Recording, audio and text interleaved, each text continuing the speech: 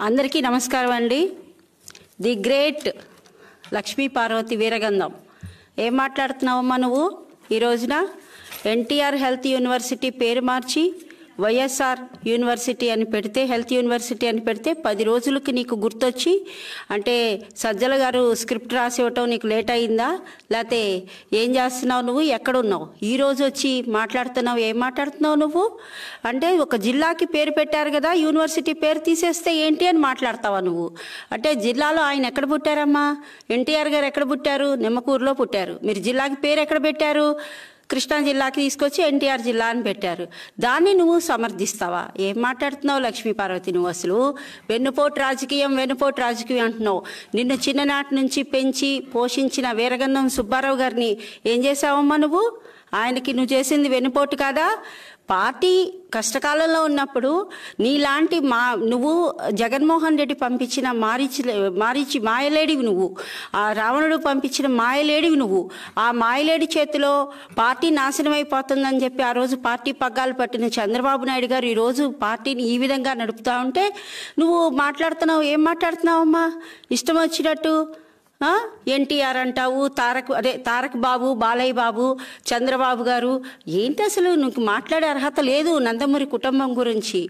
నువ్వు ఒక మాయలేడివి. నిన్ను ఉపయోగించుకోవటానికి వైసీపీ వాళ్ళు నీ చేత డ్రామా ఆడిస్తున్నారు. నీకు గనక నిజంగా చిత్తశుద్ధి ఉంటే నువ్వు ఒకటే పని చేయి.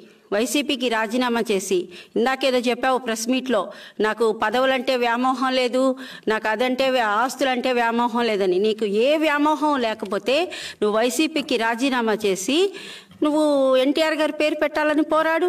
చిత్తశుద్ధి ఉంటే నీకు?